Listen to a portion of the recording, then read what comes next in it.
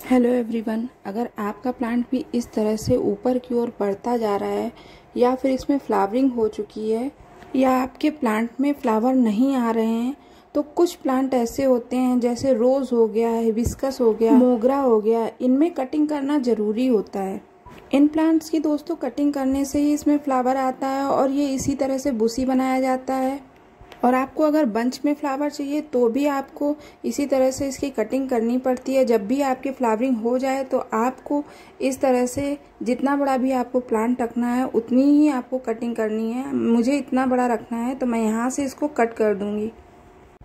Cut करने से पहले आप जिससे भी कट कर रहे हैं, उसे अच्छी तरह से सैनिटाइज कर लीजिए और अपने प्लांट में अच्छी तरह से वाटरिंग कर लीजिए। इन प्लांट्स में कटिंग करने के बाद फंगस लगने का डर रहता है, इसलिए मैं आपको बताऊँगी कि कटिंग करने के बाद आपको क्या करना है। ये देखिए, मैंने इसको कट कर लिया है।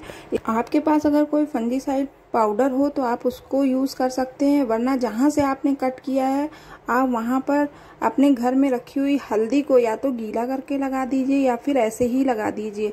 मैंने इसलिए ही पहले ही वाटरिंग कर ली थी, अब मैं इसको लगा दूँगी, यहाँ पे फंगस लगने का डर ख़त्म हो जाएगा।